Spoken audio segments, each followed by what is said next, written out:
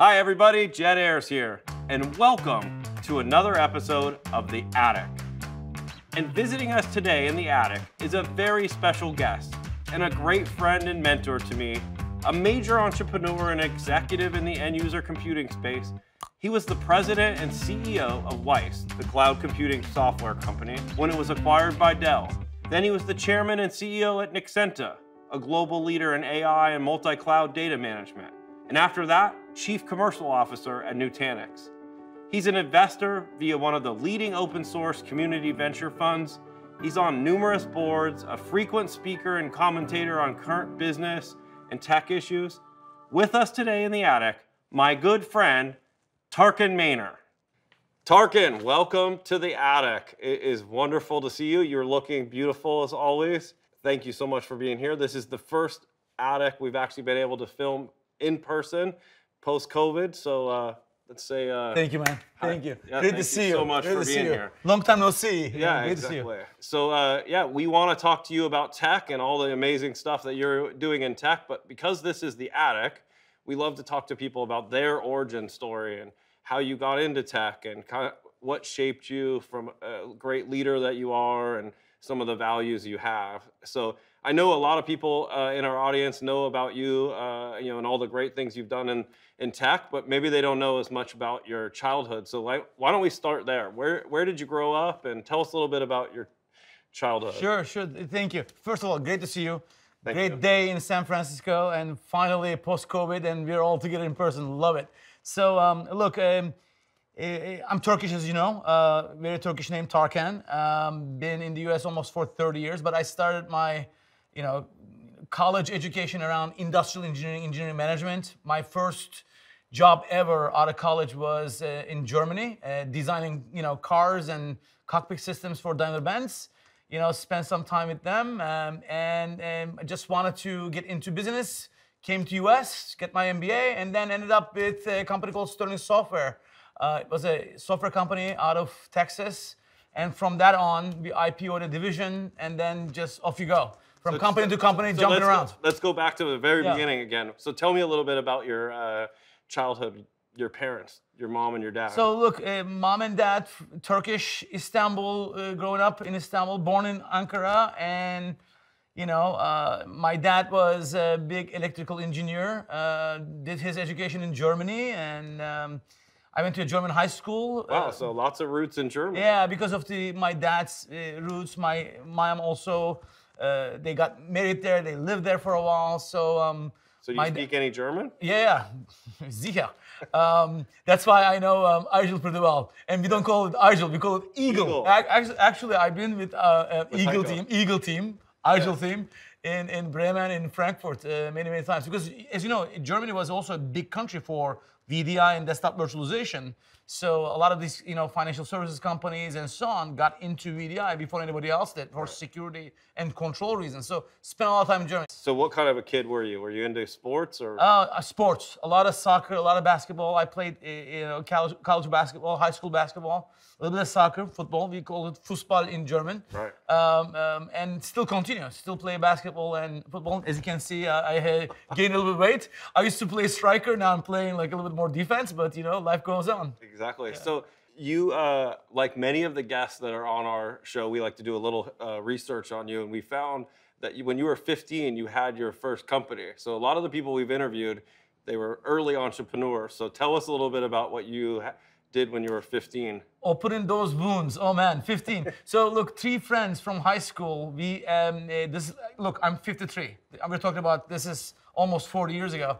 Um, uh, you know, there's no internet. There's no uh, um, so to speak online life.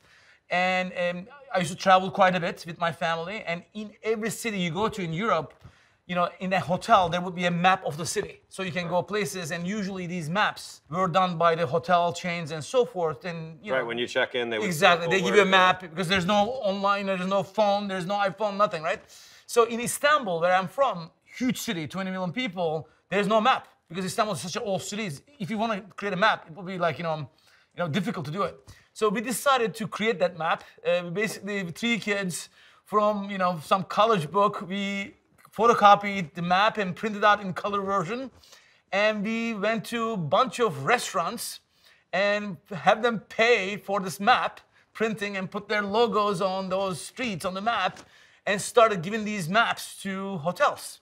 So, um, and we charge the hotels for the map and we charge the restaurants. So you got them on both sides. Exactly. So that was our first business. And there were no Uber. We didn't drive. We didn't have licenses. So we traveled, walked around the city like for four or five months. I lost tons of weight.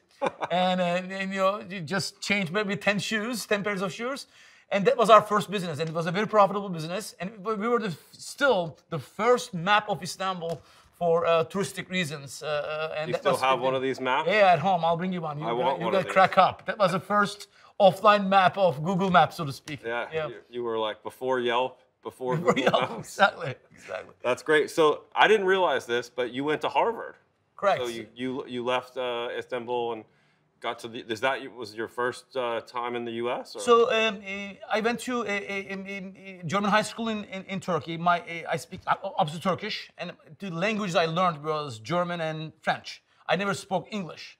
Um, so uh, when I came uh, uh, to US, um, I had all the industrial engineering degree. I came for my MBA. So I got my master's in a small school in Texas um, in Wichita Falls, Texas, which is famous for its for its big NATO Air Force base, okay. where there are a lot of you know German, Turkish, Spanish pilots and so forth, where all the NATO pilots are trained on F-16 uh, jets at that time.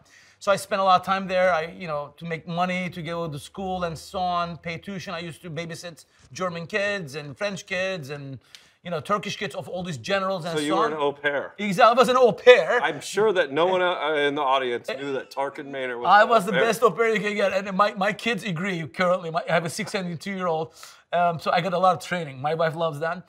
Uh, but to give you an example, I didn't speak English when I came to US. It was very difficult for me first. Um, so when I got college here, I spent the first six months in English courses. So it was a, it was a journey for me.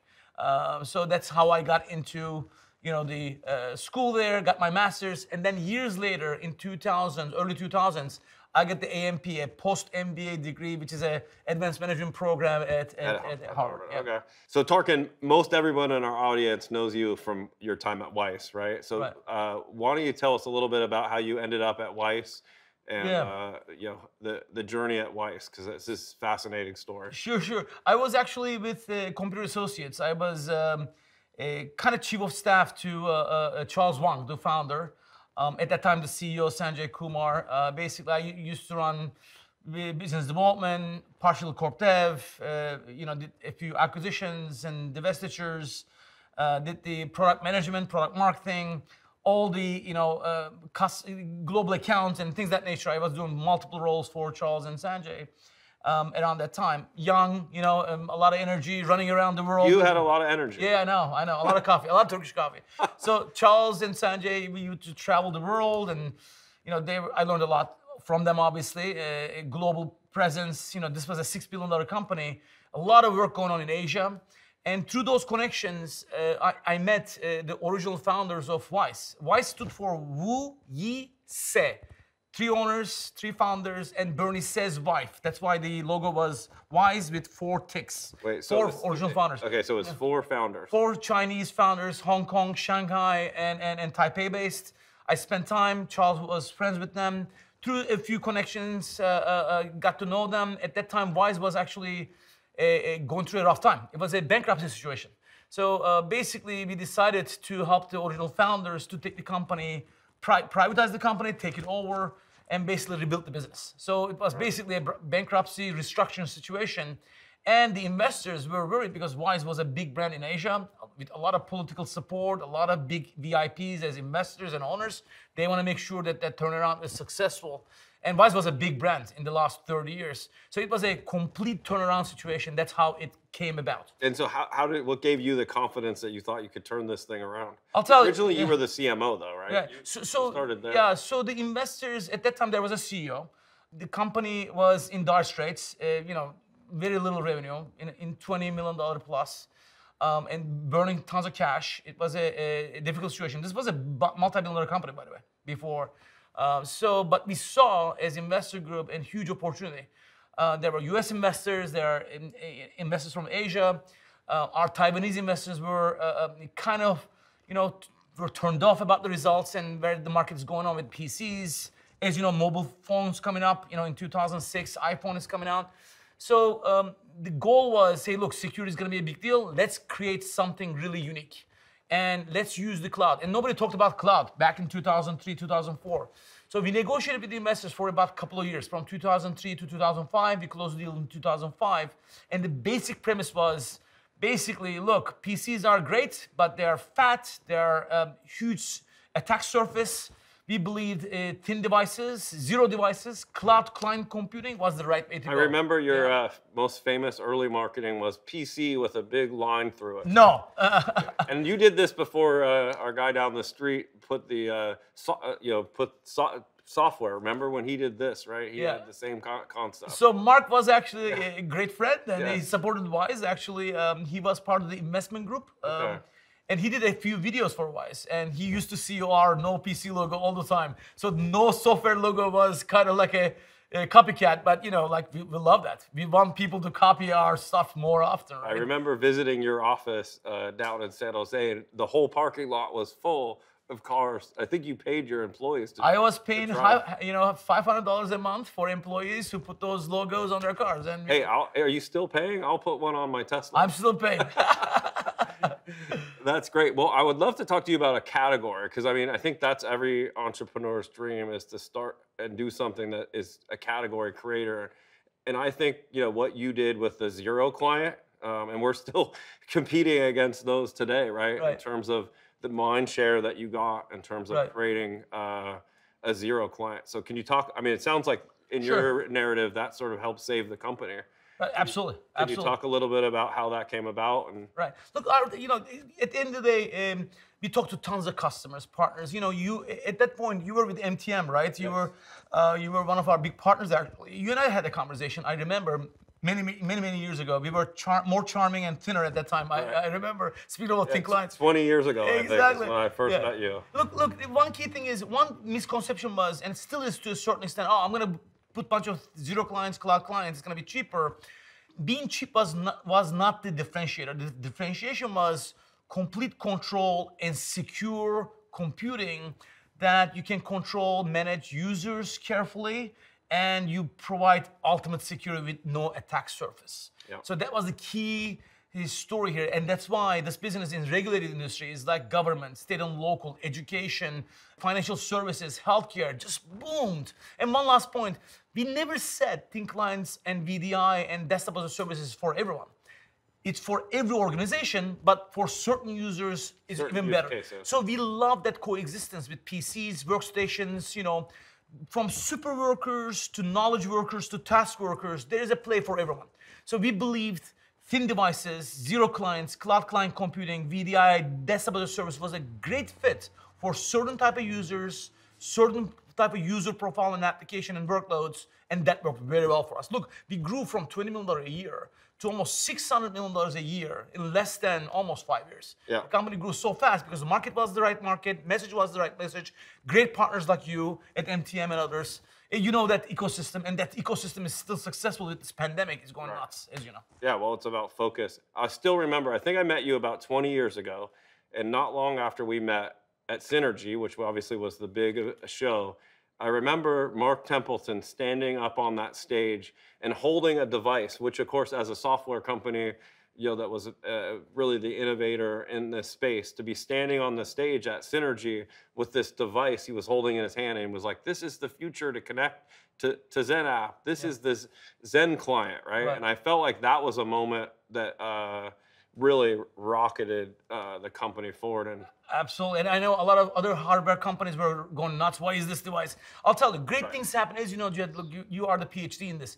Great things happen only because of great people and great friendships and great trust. So when we were designing our products, software products and hardware products, we actually would open the kimono with the partners.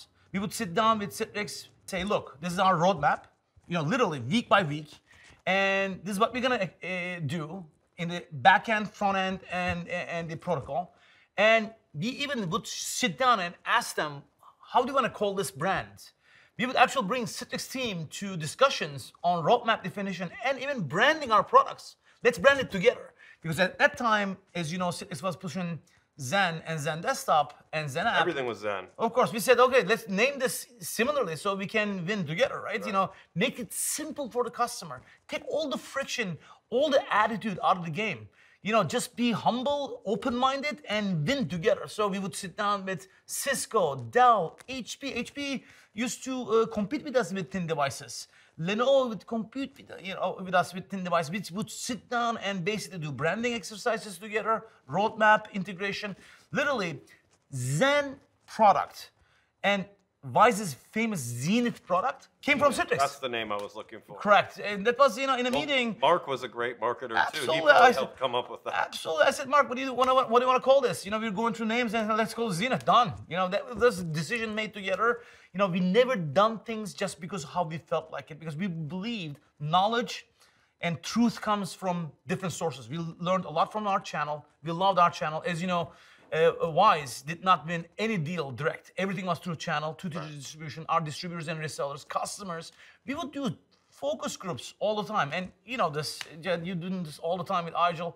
So we learned a lot from customers, partners, and channel, and we made everything based on that feedback. So you uh, hit a note with me where it's like, you know, my parents always told me ne- never do anything great by yourself, right? And it's uh, a team, uh, you know, whether it's your partners or your employees. And I would say t- for you, you uh, are a great leader in the sense that you attracted a lot, lot of great people at Wyse. In fact, I think we have 40 to 50 of them that. Uh, you know, have come to work at IGEL, and so I'd love to talk to you a little bit about your sort of philosophy in terms of recruiting and retaining Right. great talent because I think that's obviously foundational to doing something exceptional like what you did at Wyse. So, No, thank you. So look, it, it's always a team effort. Like whenever you see someone goes, I, I, I, I, there's something wrong, right? Nobody can do this by themselves because even if you read every single document, paper, book ever written, every tweet, you're never gonna be as smart as we think we, we will be. So um, one key thing to attract good people to become part of a journey,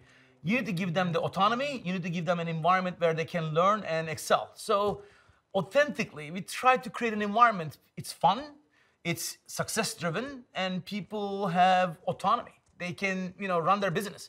I literally treat every employee as a partner, as a CEO of their own right. that's So- exactly what we say at IGEL. We Yeah. always tell people you're the CEO of your territory. And No one wants to be micromanaged, right? Yeah, Nobody wants to be micromanaged. And you know, Jed, to a certain extent, exactly. To a certain extent, you need to give some roadmap. There's, there has to be some, otherwise you, you're gonna have chaos either. There's gonna be some kind of a prescription. There's gonna be some kind of a description on things. There's gonna be some kind of a planning, but within the given, you know, uh, framework, give freedom to people.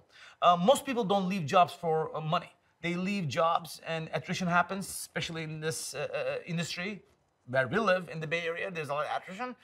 Not because of necessarily all, all money. People want to learn new things and they want to, you know, create new things and they want to have a certain freedom. Of course, money is important, but these other things are equally and sometimes more important for good people. People who excel, they like to have the freedom, and we want to give them that freedom to excel. You know. Yeah, so I want to put the uh, bookend on Wyse. So you're growing the company, doing very well. I think you took number one position. You're approaching 600 million. You got great partnerships with VMware and Citrix, and I think even Cisco. You were putting uh, devices out for their VoIP phones. Talk to me a little bit about uh, how that. How, how did you end up selling the company? I don't know how much you want to share, but I love the story you yeah, told me. Yeah. yeah. So just so you know, uh, uh, uh, I know it's gonna sound semantics a little bit, but we never sold the company. The company was literally bought. We never put the company. We never had a banker. That was never our approach. Our goal was to IPO uh, Wyse at that time because growth was great. We were always super, um, you know, uh, profitable. We never raised money. We did the first investment to take the company private. From that point in 2004, 2005, when the deal closed, we never put additional dollars to the company. The company was completely uh, cash flow positive from the beginning uh, as we as we structured things. So having said all this, the key thing for us was, I'll tell you, Jed, again, going back, partnerships, trusted net val- value networks with the customers, with investors, with partners, with VIPs. Look, we had the, some of the best consultants ever. As a friend of the company, we never paid a dime because they were part of the journey with us. C- clearly, we give them an upside at the time that we exit the business. But um, the company built such amazing partnerships with VMware, with Citrix, with Microsoft. Paul Moritz was actually at Microsoft before VMware doing deals with us. Uh, Satya Nadella at that time uh, was actually VP of OEM selling us Windows embedded. He would call me every quarter. We would do, you know, uh, revenue planning. Uh, these are Mark at Citrix, uh, John Chambers at Cisco, Michael Dell at, at, at Dell, Lenovo with YY, with Chairman YY. At, he- at that time, I was the CEO. Uh, the work we've done was all about networking, making the network for, So for everyone. how does somebody show up and pay over a billion dollars for Wyse? What what was the trigger? So look, i i there was a lot of interest in the business, and obviously uh, around that time frame with mobility, still a big deal, and security, compliance, control. Um, eh, you know, this business was growing very fast and still does. And with the pandemic, now we realize how important remote computing is, how important cloud is. Look, in 2005, when I used to have presentations about cloud client computing, people, investors, financial analysts would laugh at me. Um, um, what is this cloud thing? You know, they were- you used to make fun of us. And people realize this is the place to go. terminals. They, they called us, you know, dumb terminals. Oh, this is the IBM 5250s. I don't know what that meant. Look, uh, we were building something brand new. And again, going back, part of it was IP differentiation, both hardware, software. Part of it is customer partner experience, and part of it is the old school running the ball one yard at a time. 100% focus on financial discipline and operational excellence. And obviously the team, the people who are going to make this happen. So th- those all those pieces came at the same time, at the right time, and a lot of focus on detail. We had an amazing team. Look, from go-to-market to support to service, pre-sales, post-sales, amazing product management. But that's one area that's hugely important in tech. Um, most of these companies sometimes fail because they don't pay attention to product management. Product managers run a business, not the CEO, not the CFO. Product managers do run a business, and I paid huge attention to product management. I'm a product management at heart uh, uh, person myself uh, from my early college years, and I focused on engineering management, industrial understanding, industrial management, and product management at big time. We had the best product managers, and those product managers today are CEOs in different companies. So that's a key thing that I see, and I know IGEL does the same thing. You've done an amazing job with your product management team and engineering, of course. But great engineers cannot achieve great goals unless the right product management is established. Great sales teams cannot achieve great sales goals unless product management Yeah, is well, I think established. the heart So- of any tech company is innovation, right? And that Exactly, with exactly, Product management. exactly. One of the core values of IGEL is innovation. and I think it's really the heartbeat of any good software tech company. You got to be innovating, and that starts with product management, listening to customers, listening to partners, trying to figure out how are you going to sort of do something that no one else is doing, right?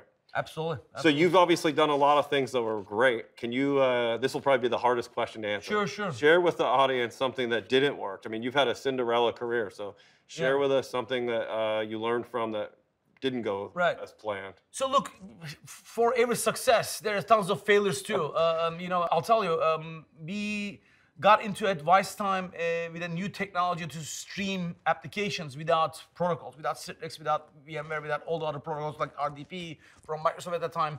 That was a colossal failure. The technology was amazing. We got really excited. We, we basically put tons of money into this thing. Um, back in 2005, 2007 timeframe, then 2008 economic downturn started, as you remember, with the Yeah, I think you remember you selling me on this product. What was the name of it? uh, Wyse Streaming Manager, but it was a, there was some OEM we put, put into the, we really believed in the product, and it was a colossal failure. It didn't work. It just also created tons of issues with our channel, but we learned from the mistake and we moved very fast, and we didn't repeat that mistake again. But again, look, Jen, as you know, if you're making right decisions 70, 80% of the time, you're in great shape. And on the remaining 20, 30%, on those colossal failures, if you can learn from that, that's, in my opinion, nirvana. That's the ultimate success. Um, I'll tell you one area, uh, uh, maybe a quick anecdote. Um, 2006 timeframe, iPhone comes out, and we tried to build the first virtual app for it for uh, uh, for uh, Steve Jobs and team. It was a complete failure because our people are server people. They understand protocol, they understand RDP, they understand Citrix. They didn't understand these mobile phones. They didn't know what iOS is. I'll tell you a quick story. I was in Palo Alto at, at, at, at the uh, Starbucks. I'm walking and I see these four kids you know, literally, you know, earrings, you know, bad shirts and, you know, greasy hair, old coffee cups doing like coding. And I can see on their Apple, you know, MacBooks, an iPhone image. They're coding some iPhone app, and we were completely failing building the first app. We literally built the first app for iPhone. I saw these kids, went them and bought them a couple of you know cups of coffee and banana breads, uh, you know muffins, you know uh, which is famous in Starbucks. Convinced them basically investing in their startup. It was a dating app they're working on, uh, and they, that dating app eventually became Tinder. And those four kids built our first mobile app called Pocket Cloud. And that was the first mobile app, virtual app on iPhone version 1 that you can actually connect to your Excel spreadsheet at home or in the office through a Wyse receiver. That was the first Wyse receiver, which led to become the Citrix receiver with Mark and the Citrix team.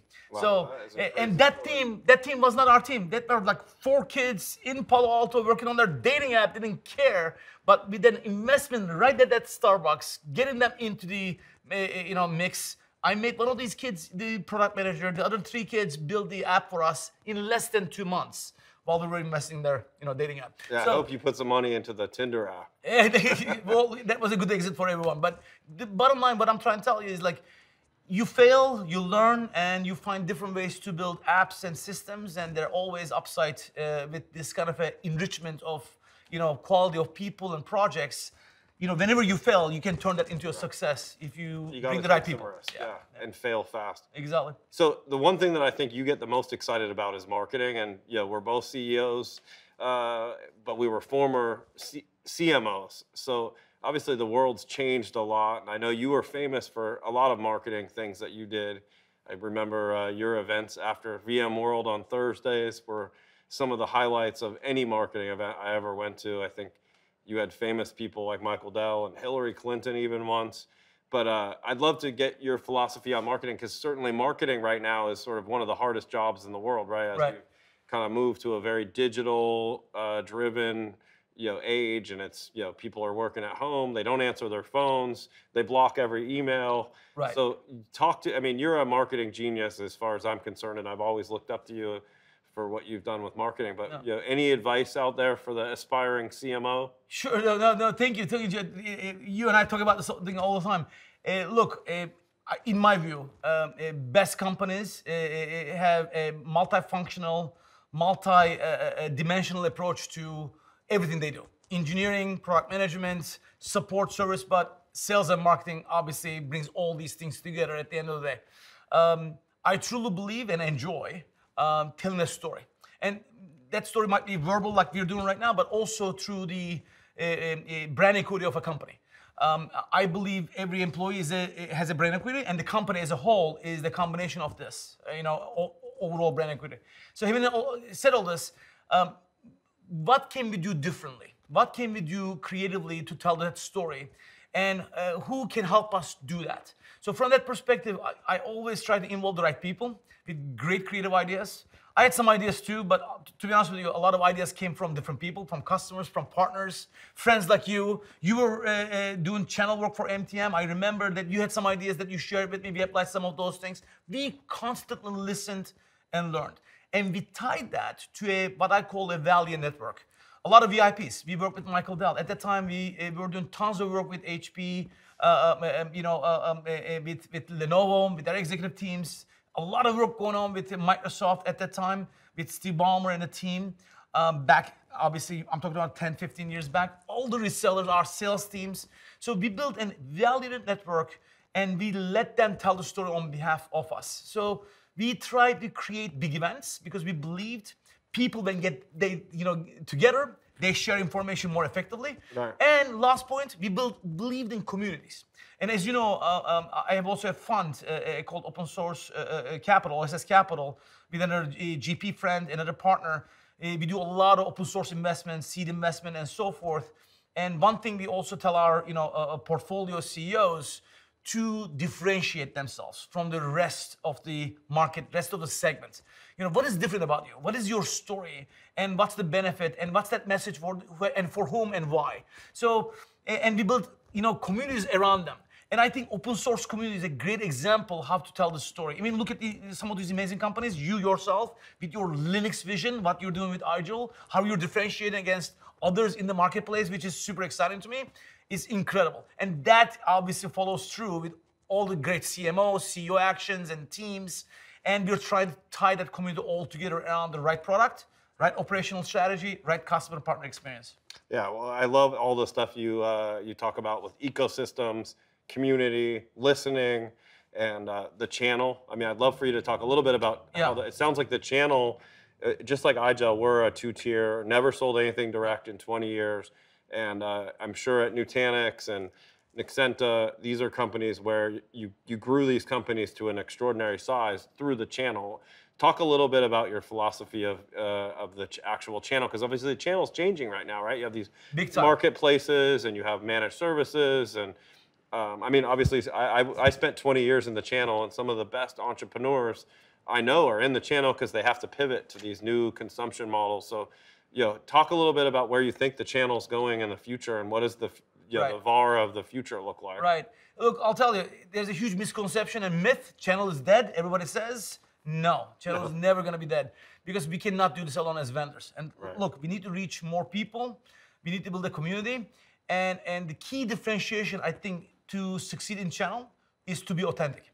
You know, a lot of CEOs, you and I know well, they talk the channel talk, but they don't walk the walk, right? They talk about it because they use channel, hey, when I need them, I need them. When I don't need them, I don't need them attitude. To me, at least my experience and my teams and the teams that I work with, we always believed in channel. And two, two tier distribution is the format I like because it gives you know control to the vendor, it gives control to the channel to do the right things between resellers and distributors. It's also nice to never have any bad debt. Hundred percent, hundred percent. Let's manage the risk together, Yeah. and also let's manage the output and, and revenue together, and share share the love. Yeah. So I truly believe the partnership with channel in an authentic way. Um, we invest constantly. We invest in channel, uh, you know, in a thoughtful way. Uh, we've done that in the past in my other companies with Sterling, with Computer Associates, with IBM, uh, uh, with Quest Software. Uh, we've done the same thing with Wyse. We've done the same thing with Nexenta. We've done the same thing with Nutanix. And in, in my uh, you know um, investment funds, 40 companies we invested with my partner. We believe in channel, and these are all open source community companies. Guess what? Open source is channel itself. Right. The entire community is your channel The ultimate channel. ultimate channel. And I'll tell you, I love this, and I know you you feel the same way. And those companies who fail, I see leadership usually don't understand the channel. And when leadership doesn't understand the channel, and that's a big, big, big failure, and that just trickles down in the organization. Right. In every company I went to uh, uh, with the team, try to hire and nurture the culture that we can win together. We can share the love together. We can share the revenue. We can share the margin. Just this morning, I was uh, talking with one of the biggest channel vendors uh, this morning uh, uh, for breakfast, and we were discussing this. And he was telling me, look, most vendors don't get this. And this is the reason love working with some of your companies. So Right. I cannot stress how big this is, and, and, and there is no school for this. To be honest with you, I talked to Harvard when I was doing my AMP there. There should have some class around this. How to build channel, like executives who understand how to build a channel and manage a channel, critically important. Yeah, I mean, there's no faster way to scale a company than have thousands of people representing it. I mean, you can't you can't do it any other way. I remember uh, you invited me to one of your events at MTM in Ohio. I think it was in Columbus or Oh, yeah. maybe it's in Cleveland. I'm trying to remember. Cleveland. That It was, when I was at Cleveland. MCPC. Yeah. That's probably 2005, 2006. Yes. You were on stage. Steve was on the stage at that time, your CEO. And look, I came to this channel meeting. You, you have about your 100 of your employees there and managers. That one day I learned more about channel than anywhere else I could. And imagine the experiences we built around that, learning from each other over the past 20 years. Look, so look, this is priceless, priceless uh, uh, knowledge and, and energy creation through you know partners and win. Totally. Well, uh, I want to switch gears and we'll probably talk about a topic that everybody's sick of talking about, but it feels like COVID is coming to an end, right? It feels, I, I don't know, you came into the city today, it's a little more alive. We're not wearing masks anymore, and uh, we're starting to feel like we're uh, getting back to a sense of normalcy.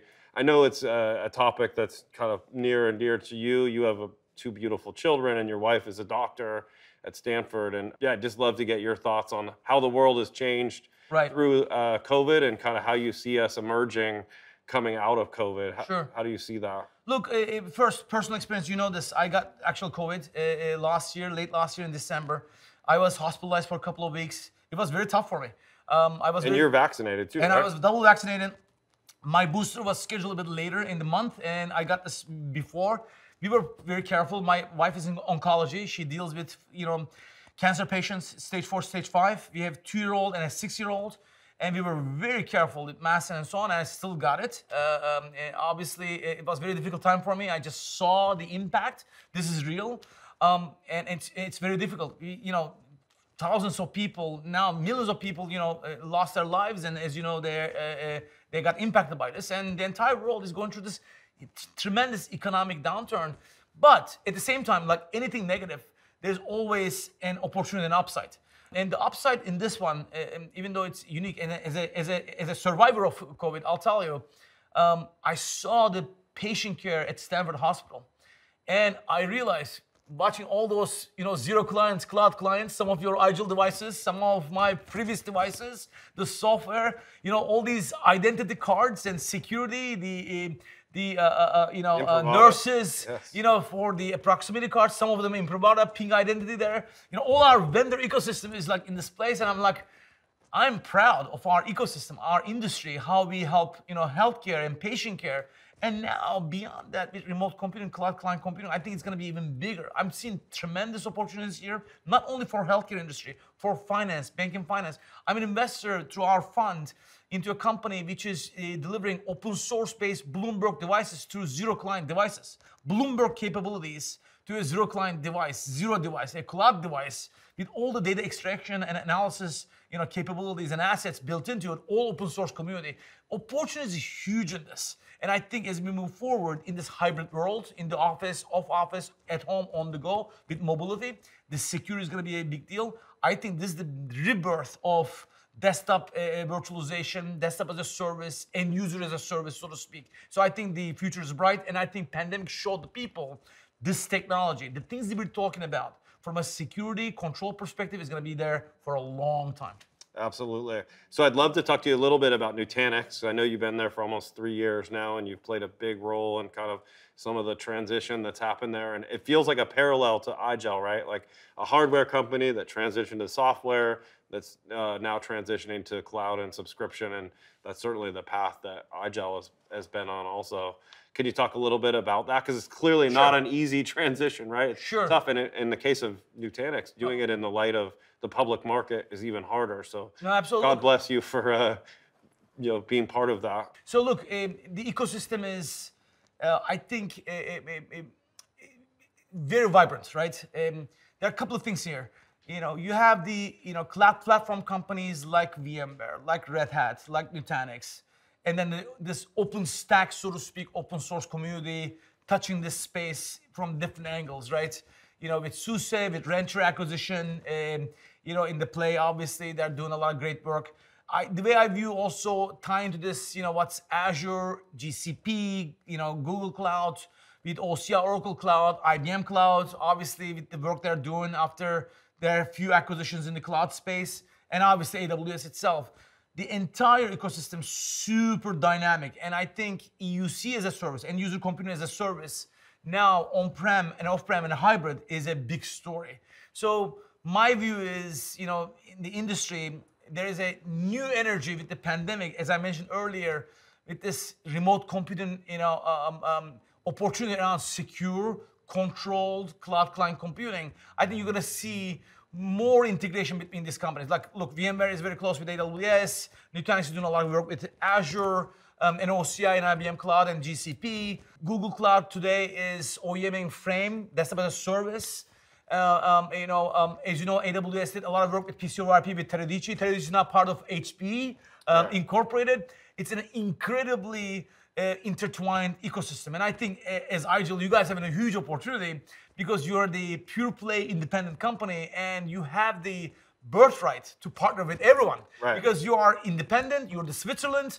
You have opportunities with AWS, with Azure, uh, with OCI, with IBM Cloud. You have opportunities with VMware, Nutanix, Red Hat. You have opportunities with Dell, HP, and, and, and, and Lenovo. So I see your position as a, a very uh, unique and opportunist position, and for customers as well, because they see if I deployed IGEL, I can play with all these vendors, and I give I give choice to my end users. So from that perspective, I see this, you know, era the era of openness. And also now tying to this is all the open source activity, open source community comes to this with different applications, you know, f- for the entire stack, creates tons of opportunities for the ecosystem and for you, for IGEL, of course. Yeah, uh, you're hired. I, I love that answer.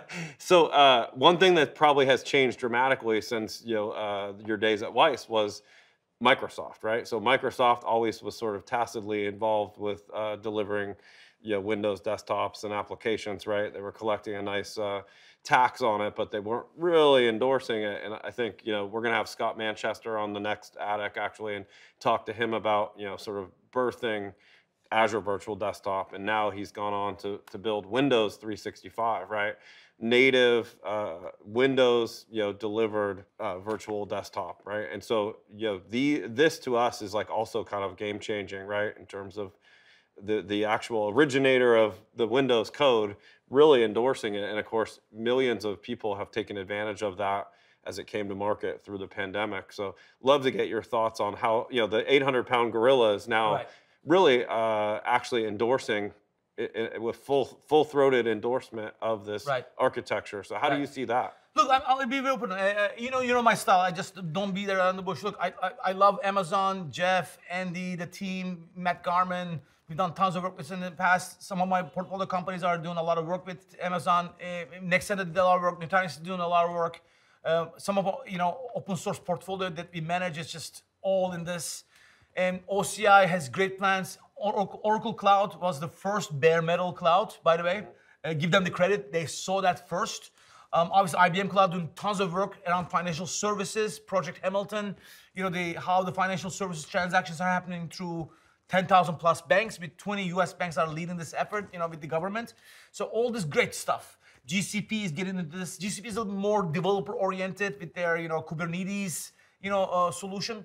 But among all of them, Microsoft, in my view, has the birthright to win in this because they own the Windows platform. At the end of the day, they control the operating system, and I believe, you know, uh, uh, Chris Young, as you know, Chris can, comes original Cisco, VMware, you know, McAfee, Intel. He gets the endpoints, he gets the end user, end-to-end integration from back end to front end. He understands the thin clients, he understands the desktop as a service. Now he's running all the corp dev there. Satya, as you know, like he comes from the space. He was the OG. He was the original one. Eh, I remember in 2004, 2005, I used to talk to Satya all the time on a monthly basis. Our revenue numbers are on Windows embedded for our thin devices, fatter thin devices with Windows because of the drivers we had in that. And he he knows the space in and out. He understands terminal services and cloud. And obviously, you have an amazing team there with Scott Guthrie, with Eric Lockhart. You know, the entire team is incredible. So I truly believe Azure and Microsoft is gonna have huge upper hand in this on the desktop side of things because they understand their value. And the key thing I love about Microsoft, they care about partners. They understand the customer partner experience. We get a lot of good work uh, with our portfolio companies. And you know, Nutanix has done a lot of great work on this. I know you're doing tons of work, and I Yeah, know the fact. it's a very strange thing for a, a Linux operating system to be partnering very closely. We have people up there every week practically in their development. I mean, so to your point, they do know how to partner. They do understand the value of 100%. the ecosystem. Look, GitHub acquisition, right? GitHub is the one of the biggest, you know, that's an open source platform per se. Again, another OG, right? So, you know, Satya made the clear distinction. Yes, we, we own the Windows, we love Windows, but look, there's a huge developer community. Open source is real. That's why I have a big focus on open source investments and with my portfolio as well there, and tying that to the things we're doing uh, uh, around the world with, you know, um, obviously some of the activity we're doing with Nutanix and others. So making sure that we deliver an end-to-end user experience between both Windows environments and non-Windows open source environments from DevOps to DevSecOps to AI to security as a whole, beyond DevSecOps itself, and all the infrastructure behind that, from data center to the end user computing to the edge, all coming together in a hybrid cloud fashion, both on the private cloud and public cloud, and obviously mostly in a hybrid cloud fashion because most of our companies are going to go both ways. Some workloads are going to be in public, some workloads are going to be private, and I believe Microsoft and Azure has a really clear idea how this is going to play out because they are also on the Windows platform. So I believe Microsoft is the right partner for many of these workloads for companies like IGEL. Yeah, well, I think the word you said is hybrid and security, right? It's it's a hybrid cloud world. It's in the humans are in a hybrid, 100%. right? We're going to be moving around. So, in closing, you know, I just want to say thank you because you've been a uh, a great mentor and friend to me. I think we met almost every month, even before I took the job at IGEL. I came and consulted with you, and uh, you've been like a big brother to me. And uh, I guess I'll ask you in front front of everybody, you know, how do you think uh, IGEL is doing? I mean, you kind of alluded to it, but um, yeah, we we've been on this path, and uh, you know, we're we're trying to kind of recreate, uh, you know, how this technology is consumed. We've really pivoted into a pure software company, and in fact, a lot of what we do is actually, you know, go and uh, resurface a lot of the great hardware that you installed, actually, right? Um, so as my uh, mentor and big brother, you know, thank you for the for all the advice, and I learn some something from you every time we sit down together. But yeah, I just love curious in terms of you know your thoughts on our trajectory and any advice you have to me and our 400 employees at, Sure. at IGEL who will certainly tune into this. Look, I'll tell you, Jed, uh, you've been amazing friend, partner to me, and you're mentor to me too. I, I learned a lot from you and things that you're working on and the team. I'll tell you, um, when I met IGEL team, IGEL team in Germany, uh, this is like almost now 15 years ago. Uh, they were building an amazing uh, device, and they had a great management software, and they really figured out open source and Linux, how they uh, built their technology, and I was very impressed. But on the software front, they still were struggling. What how software behaves, how software is monetized, and and how support and service delivered as a software company. And I think you and the team done a phenomenal job to transforming the company from that amazing foundation Heiko and the team did, and and the original investors now created this amazing powerhouse as what IGEL is today, as a software powerhouse. And I'll tell you, uh, the feedback I'm getting from customers enterprises, both in you know public sector and private sector, is super positive. You and I talked about a couple of opportunities, and I think understanding the open source community, the Linux, and the way you partner with big cloud partners like Azure, and also the other platform vendors that you're doing a lot of work with Dell's and HPE's and Lenovo's of the world.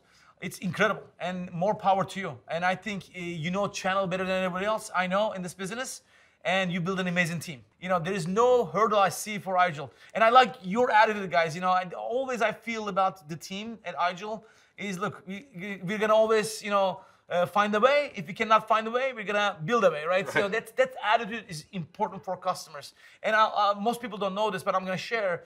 The other day I was texting you.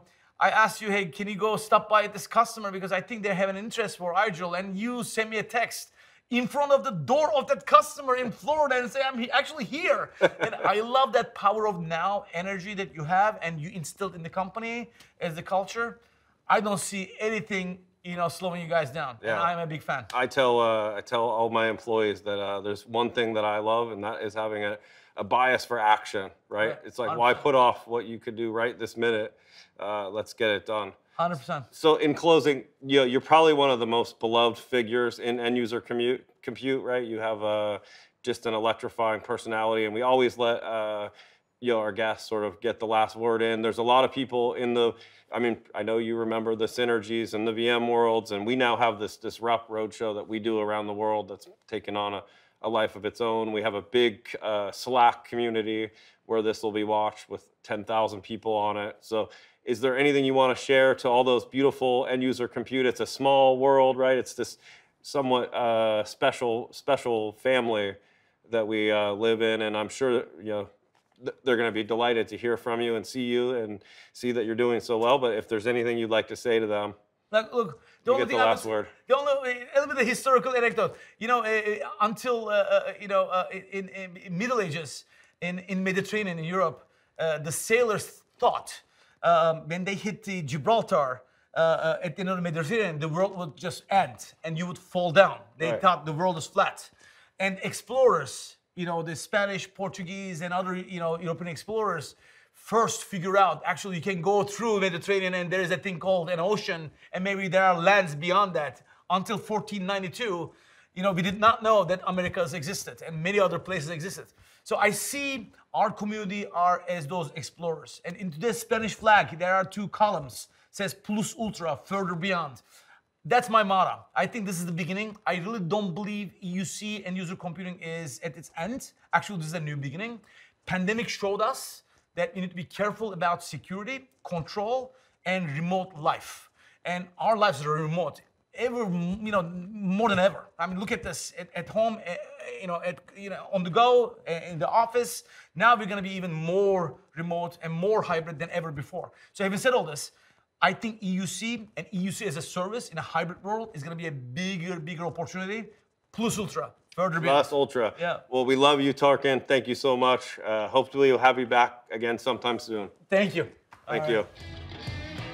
Wow, that was an exciting discussion. I woke up this morning and I was super pumped to talk to Tarkan, and of course, he, he never fails to deliver wisdom. I hope uh, uh, you got a lot out of it. I certainly did.